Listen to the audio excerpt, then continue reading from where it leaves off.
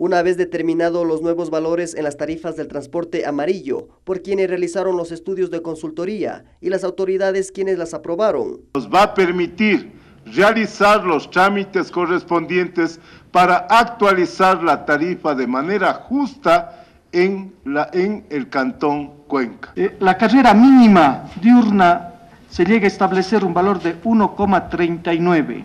La carrera mínima nocturna 1,67 la tarifa de arranque 0,55, la tarifa de tiempo de espera 0,06, el costo por kilómetro diurno 0,29 y el costo por kilómetro nocturno 0,39. Opiniones diversas se manejan por parte de la ciudadanía que regularmente utiliza este servicio de transporte. Debía ser como era antes, es decir, que se pague 1,14 como tarifa mínima.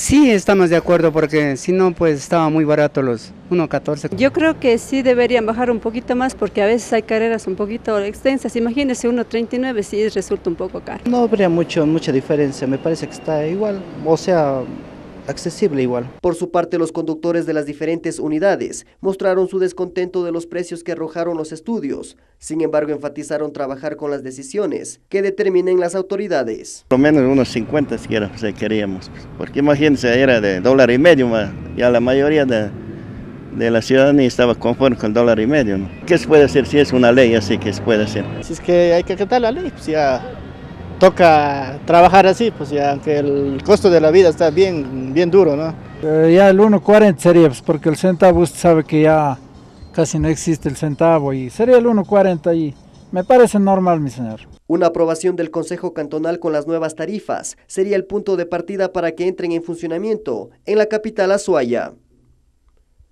Javier Torres, El Informativo.